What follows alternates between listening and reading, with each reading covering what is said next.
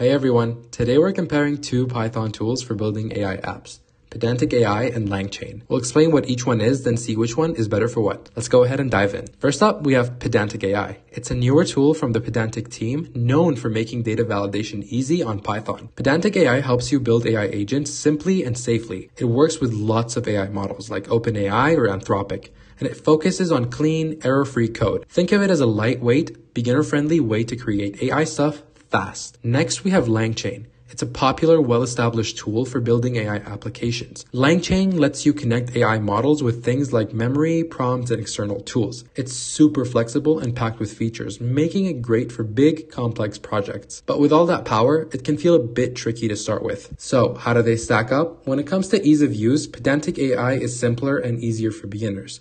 LangChain has more options but can be overwhelming. When it comes to safety, Pydantic AI shines with type safety, fewer mistakes in your code. LangChain supports it too, but it's not its main focus. For flexibility, LangChain wins. It's built for complicated apps with tons of features. Pydantic AI keeps things basic and streamlined. LangChain has a bigger community and more help online. Pydantic AI is newer, so it's still growing. Here's the takeaway.